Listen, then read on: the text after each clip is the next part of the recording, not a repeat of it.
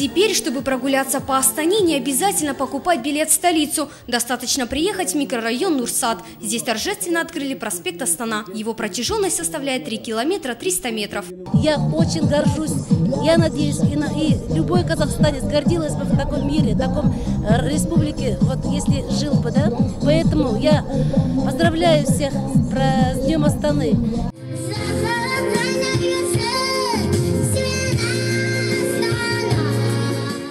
Художники Шимкента решили проспект Астану преобразить. На яркий рисунок ушла тонна краски. 600 школьников взяли в руки кисти и краски. Ребята изобразили не только здание Астаны, но и счастливых детей и необычную природу столицы.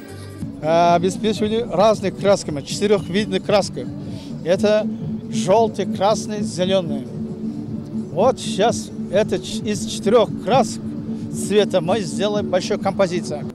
Рисунок на асфальте длиной 500 метров юные художники рисовали 6 часов, и это при том, что контур создали еще накануне. Ученик 44-й школы Багдаулет Нуридин раскрашивал небо. Он ровесник нашей столицы. Семиклассник признается, что самое главное, чтобы небо не только над Астаной, но и над всей нашей страной всегда было мирным.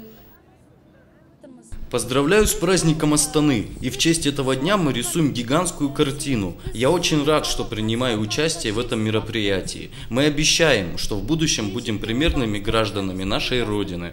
Сегодня я являюсь ровесником Астаны, и я считаю это везением. Мне очень нравится проспект, который открыли в этом микрорайоне. В ближайшем будущем рядом с проспектом появится живописный парк. Возведут здание Русского драматического театра, выставочный зал. С широкой улицы началось строительство административного центра.